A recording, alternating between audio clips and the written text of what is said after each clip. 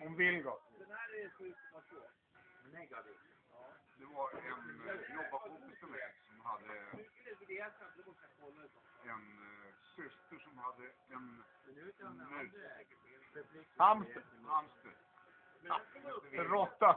Ja, har inga och eh, så på julafton och så. Ja, ja, så var det ju det att ja, kan jag ta en fotograf på, eller foto på Vilgot? Då är det båtklubben, då är ju Tele Ja.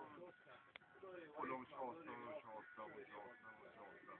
Men sen så, vet du, så, ja, tog han en foto där de satt med den där Vilgot i bröstkorgen. Så, vet du, ja, och så, han tvärdog ju. av Blixt. Det var när det var ett jobb. Han tvärdog av Blixt. Så, så han var kallad mördare. Ja. Han fick ju gå ut och, begrava honom. Han fick slänga den ner från Sankt Eriksbro. Han bodde i en skokartong. Men kom, kom han upp igen? Vad fan då? Eller är det med rösten?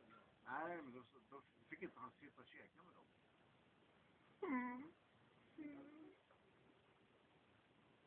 Han får inte sitta och käka med dem. Det är ju julbordet. Du vill inte ha någon mördare här jul. Då hade de tjatat på honom. Och fått den där jävla hamstern.